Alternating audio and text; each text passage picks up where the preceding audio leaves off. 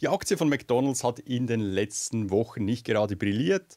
Wir haben viele andere Aktien gesehen, die deutlich besser performt haben als McDonald's. Und das ist vielleicht jetzt gerade eine Möglichkeit, die Aktie anzuschauen, ob hier weiteres Potenzial besteht, ob man von dieser Korrektur profitieren kann, um seine Position weiter auszubauen oder endlich mal einen Einstieg zu finden bei McDonald's. Wir werden uns somit in diesem Video ein kurzes Update anschauen.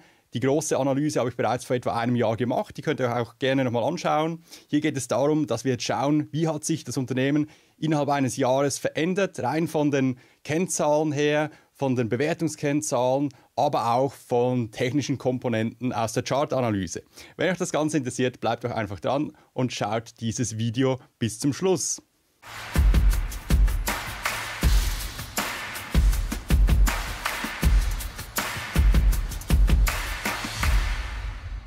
Mein Name ist Matthias Christen und ich helfe Menschen dabei, langfristig erfolgreich an der Börse zu investieren. Also, die letzten Videos auf meinem Kanal ist bereits eine Weile her. Ich habe eine kleine Pause gemacht, bin jetzt aber wieder da. Und da muss man sagen, dass das vor allem technologielastige Unternehmen waren. Jetzt haben wir McDonald's, ganz klar ein Unternehmen aus dem Konsumbereich, äh, zyklischer Konsum. Und jetzt muss man sich aber fragen, ist denn McDonald's wirklich noch ein ja, traditionelles Unternehmen aus dem Konsumbereich oder könnte es nicht auch sein, dass wir es mittlerweile sogar mit einem Technologieunternehmen zu tun haben? Worauf will ich hinaus? Ich habe hier diese Schlagzeile gelesen von Reuters. Ähm, Big Mac wird zu Big Tech mit ein paar Schluckaufs. Also im Prinzip muss man schon sagen, dass McDonald's wirklich so ziemlich jeden kleinsten Prozess in seiner Wertschöpfungskette mittlerweile digitalisiert hat. Und ähm, man ist hier wirklich technologisch sehr weit vorne. Also geht mal in eine McDonalds-Filiale, vergleicht das Ganze vor zehn Jahren, was sich hier verändert hat. Das ist schon massiv. Und somit muss man schon sagen, haben wir es mittlerweile nicht einfach mit einem Technologieunternehmen zu tun, das zufälligerweise auch Burger verkauft. Das ist natürlich etwas, ja, ähm, kann man so ein bisschen reißerisch bezeichnen, aber schlussendlich ist das der typische Lauf eines traditionellen Unternehmens, das innovativ ist, dass man halt auch wirklich sich verändert und auf die Gegebenheiten reagiert, auf die Möglichkeiten reagiert. Das birgt aber natürlich auch gewisse Risiken. Denn wir haben gesehen, dass jetzt in den letzten Wochen immer mal gewisse Ausfälle stattgefunden haben bei McDonald's, weil man halt doch auch von dieser Technologie abhängig ist. Also wenn irgendwo die, die Software ein Problem hat, dann läuft plötzlich bei McDonald's äh, nichts mehr, dann wird kein Burger mehr gebraten etc. Muss man sich bewusst sein, ist das ein großes Problem? Nein, weil wir leben in einer digitalen Zeit. Also ich finde das eine sehr gute Entwicklung bei McDonald's, dass wir hier wirklich zu einem Digitalunternehmen werden. Also kleine Kleine Einleitung, jetzt gehen wir aber wirklich rein, schauen uns mal an, was hier McDonald's in den letzten zwölf Monaten performt hat an der Börse. Wir haben hier einen Überblick, einen Überblick vom S&P 500 Total Return. In dieser Periode hat dieser Index etwa 29% zugelegt. Wir haben Restaurant Brands International als Vergleichsunternehmen mit 16% Rendite, McDonald's minus 4%, Starbucks minus 15%. Also wir sehen da schon mal, mit McDonald's hätte man ganz deutlich den Markt ähm, underperformed. Also hätten wir wirklich eine, eine schlechte Rendite hingelegt. Und deshalb ist es wirklich mal interessant zu schauen, hm, ist diese negative Performance an der Börse, hat die einen bestimmten Grund, dass das Unternehmen einfach schlecht, sich schlecht entwickelt? Oder ist es einfach zurückzuführen auf Branchenrotation, dass momentan einfach andere Branchen mehr gefragt sind und deshalb hier einfach eine Korrektur stattfindet, die für langfristige Investoren durchaus spannend sein kann? Also, konkret schauen wir uns mal die Umsatzentwicklung an.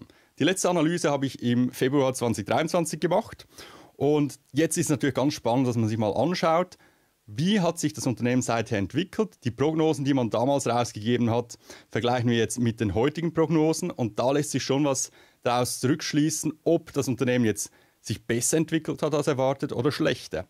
Also konkret gesagt, hier im Februar 2023 haben wir für das Gesamtjahr 2023 einen Umsatz äh, geschätzt von den Analysten von etwa 24,3 Milliarden. Was ist jetzt effektiv passiert?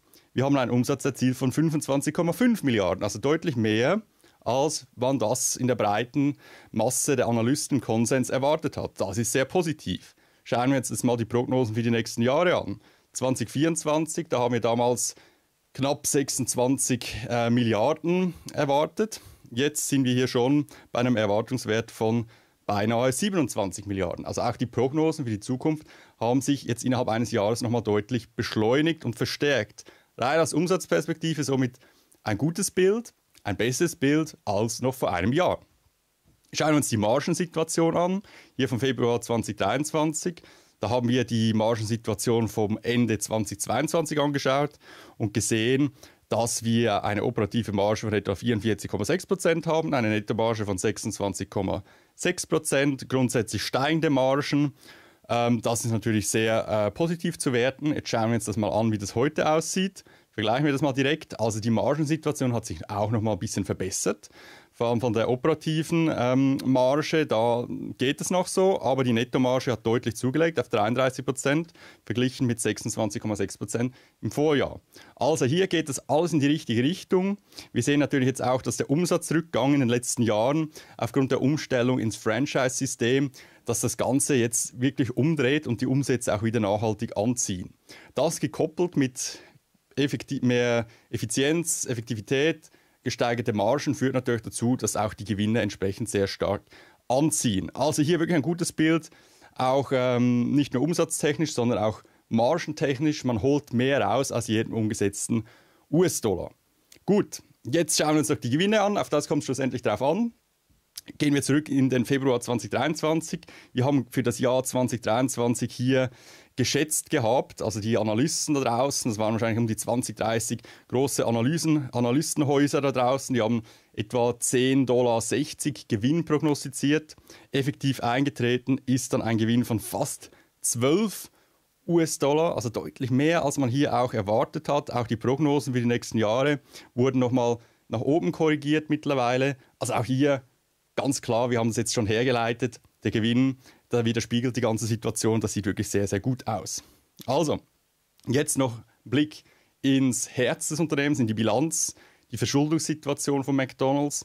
Da haben wir im Februar 2023 schon gesehen, dass wir halt ähm, schlussendlich doch von den Schulden her auf einem Niveau sind, die nicht gerade klein ist, die Schuldenquote, aber das lässt sich natürlich auch ein bisschen re relativieren mit dem Immobilienportfolio.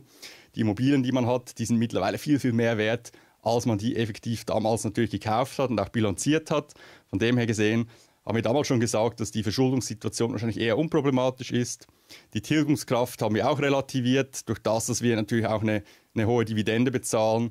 Wenn wir jetzt aber den Free Cashflow ins Verhältnis setzen mit den verzinsten Schulden, ist das alles noch im Rahmen. Jetzt die aktuelle Situation sieht wie folgt aus.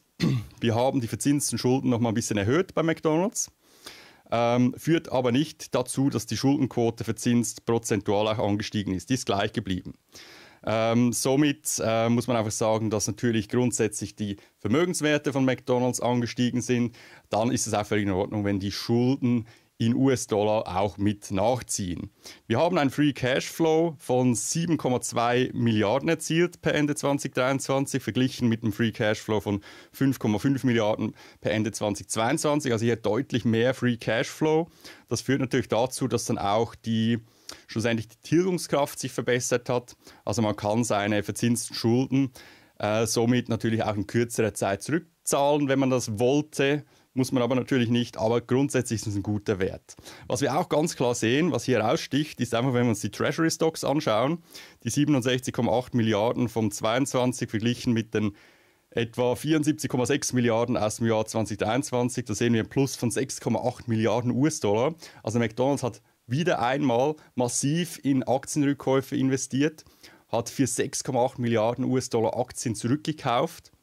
Und das ist natürlich auch ein starkes Zeichen und sollte den Aktienkurs nachhaltig auch sehr stark stützen. Also auch hier für bestehende Aktionäre ist es, ist es eine, eine gute Nachricht. Äh, McDonald's selbst ist offenbar auch überzeugt, dass die Aktie attraktiv bewertet ist, sonst würde man nicht so eine große Menge in sich selbst investieren. Das sind so verschiedene Zeichen, die hier uns ähm, signalisieren, dass wir hier auf dem richtigen Kurs sind. Also, auch hier Bilanzperspektive, Schuldensituation für mich absolut im grünen Bereich. Gut, was meinen die Analysten da draußen? Auch hier vergleichen wir wieder die Situation vor einem Jahr. 20 Februar 2021, da war bereits das Ganze sehr optimistisch. Wir haben keine Analysten gehabt, die zum Verkauf ähm, empfohlen haben, die Aktie. Das sieht heute nicht anders aus. Wir haben keine Verkaufsempfehlung. Wir haben hauptsächlich Kaufsempfehlungen oder Halteempfehlungen. Also das auch hier äh, aus breiter Front 36 Analysten, die hier eine Meinung abgeben, die grundsätzlich sehr optimistisch sind. Äh, das Kursziel würde ich jetzt hier überhaupt nicht gewichten. Das ist aus meiner Sicht überhaupt nicht nachvollziehbar, wie man hier das Ganze, wie man darauf kommt. Es ist auch immer schwierig zu sagen, wann die Kursziele von den Analysten herausgegeben wurden. Da wird irgendwo ein Durchschnitt errechnet. Deshalb hier für mich absolut keine Relevanz. Aber rein vom, vom Gesamtbild her, von der Stimmung her, ist man hier wirklich nach wie vor zuversichtlich. Gut. Der faire Wert der McDonalds-Aktie. Jetzt wird es interessant aus fundamentaler Perspektive. Schauen wir uns mal an, im Februar 2023, da haben wir folgendes Bild gehabt, dass wir eine überbewertete Aktie hatten. Die Aktie war nicht massiv überbewertet, aber sie war doch ja, deutlich über dem fairen Wert, äh, basierend auf dem bereinigten Gewinn. Wir hatten damals einen KGV bereinigt von etwa 26,7, verglichen mit dem 10-jährigen Durchschnitt von 23,4. Das ist eine Überbewertung. Also, hier fundamental haben wir gesehen, okay, vom Einstieg her wahrscheinlich nicht gerade unbedingt der beste Moment, um eine langfristige Position aufzubauen. Gut, jetzt ähm, hat sich das ja wie folgt entwickelt. Die Aktie ist zunächst mal angestiegen, hat danach aber wieder konsolidiert, ist wieder eine Korrektur reingekommen. Stand heute sind wir etwa ungefähr auf dem gleichen Stand wie vor einem Jahr, plus minus. Und das führt jetzt natürlich dazu, dass wir zwar auf dem Aktienkurs auf dem gleichen Niveau sind, aber die Bewertung da die Gewinne ja schön angestiegen sind, natürlich sich verbessert hat. Und Stand heute muss man sagen, dass die Aktie auch wieder basierend auf dem bereinigten Gewinn, historisch betrachtet über die letzten zehn Jahre im Durchschnitt, nun relativ attraktiv bewertet ist. Also wir haben dieses 22,3 KGV bereinigt mit dem historischen Schnitt über die letzten zehn Jahre von 22,5 also da sind wir eigentlich ziemlich genau auf dieser fairen Bewertung. Und somit kann man sagen, Stand heute, wenn man investiert in die Aktie von McDonald's, kaufen wir uns diese zu einem attraktiven Preis. Wenn man sie vor einem Jahr gekauft hätte, hätte man zu einem teuren Preis gekauft. Und es hätte sich tatsächlich auch nicht gelohnt, damals hier wirklich als Langfristposition einzusteigen. Also, das ist wirklich sehr spannend, wenn man sich jetzt das hochrechnet. Für die nächsten Jahre ergebe sich ein theoretisches Renditepotenzial, also wirklich nur theoretisch, rein basierend auf den fairen Werten. Was dazwischen natürlich passiert, können wir nicht äh, wissen. Wir haben keine Glaskugel. Aber wenn sich das so entwickelt, die, die Gewinne von McDonald's, wie man das prognostiziert, und die wurden ja in, tendenziell in den letzten Jahren eher wieder übertroffen, die Erwartungen. Da kann man sagen, dass man bis Ende 2027 ein Renditepotenzial von etwa 50 Prozent hat. Aufs Jahr runtergebrochen sind das 11,7 Prozent pro Jahr. Da wird es wirklich langsam interessant, wo man sagen kann, hier hat man tendenziell die Möglichkeit, einen Markt auch outzuperformen mit der Aktie von McDonald's. Auf diesem Bewertungsniveau vor einem Jahr sah das noch ganz anders aus. Also deshalb Timing beim Einstieg von Aktien sehr, sehr entscheidend, weil das führt wirklich dazu, dass man auch langfristig über viele Jahre hinweg einige Prozentpunkte mehr rausholen kann. Gut, Ganz kurzer Unterbruch, bevor es mit dem Video weitergeht. Du hast jetzt noch die Möglichkeit, einen 1 zu 1 kostenlosen Beratungstermin mit mir zu buchen auf meiner Website www.matthiaschrissen.com. In diesem Termin sprechen wir einfach mal ganz unverbindlich darüber, wie du dastehst an der Börse, ob du bereits investiert bist oder das vorhast. Wie sieht dein Plan aus? Was hast du für eine Strategie? Bist du langfristig orientiert oder eher kurzfristig orientiert? Du kannst von meiner 15-jährigen Erfahrung profitieren. Ich kann mal ganz nüchtern auf dich eingehen und zu schauen, was für dich eine sinnvolle und richtige Strategie ist. Und wir sprechen darüber, wie ich das persönlich für mich umsetze. Das kostenlose Beratungsgespräch ist absolut unverbindlich. Du kannst wirklich nur davon profitieren. Ich würde dir empfehlen, so schnell wie möglich dich anzumelden, damit du dir noch einen Termin sichern kannst. Würde mich sehr freuen, dich persönlich kennenzulernen. Dein Matthias Christen und jetzt geht's weiter mit dem Video. Jetzt schauen wir uns das Ganze noch technisch an. Die technische Analyse der McDonalds-Aktie. Hier nochmal ein kleiner Rückblick, Februar 2023 im Wochenchart.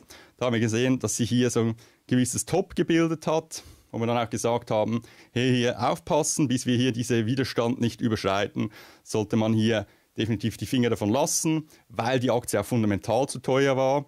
Schlussendlich haben wir dann den Ausbruch gesehen. Das wäre jetzt aus kurzfristiger Trading-Perspektive natürlich interessant gewesen. Für ein Langfrist-Investment wäre das für mich trotzdem keine Option gewesen, hier einzusteigen, weil einfach die Bewertung zu teuer war. Also, was ist hier passiert? Stand März 2024 im Wochenchart.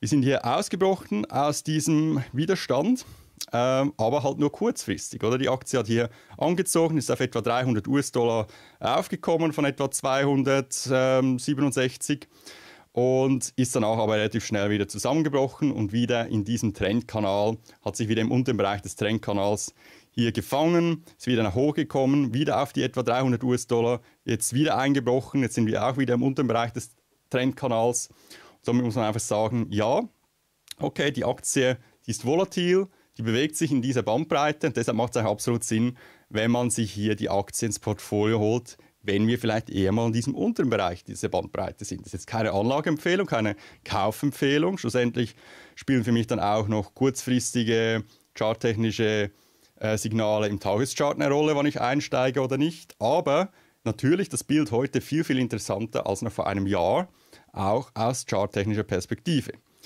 Hier muss man jetzt wirklich sagen, im Tageschart sehen wir gerade ein negatives Momentum.